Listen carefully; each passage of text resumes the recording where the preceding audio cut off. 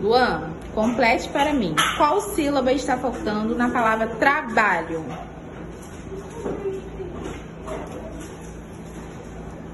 Muito bem, Luan.